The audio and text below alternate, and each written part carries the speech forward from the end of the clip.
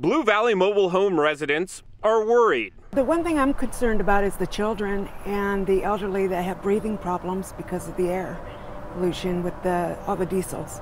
And while residents in Blue Valley worry about the adverse effects of a 100 bay trucking operation right next door, they also worry that industry around the mobile homes will eventually swallow them up. I am, because then if somebody ends up buying this area, I don't know where I would go. I would have to move my own mobile home, and I don't have the money to do that.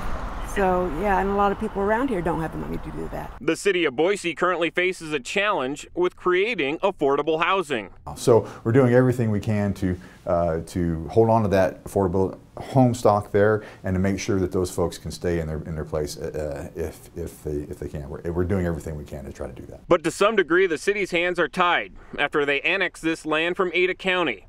Because Blue Valley falls within the airport overlay zone, that means the trailer park can't be zoned as residential because of federal law. So at the design review meeting, the city will attempt to orchestrate a compromise. So going forward, we're hoping to that, that both sides can come together and find something that's going to be amenable to everybody. The design review board will consider requiring a sound wall and other safety measures. But residents worry about the future of their homes in this park that has been here since the 70s pretty much because we own our homes and not owning the land, we're kind of screwed on that. So yeah, it's it's going to be rough. Steve Dent, six on your side.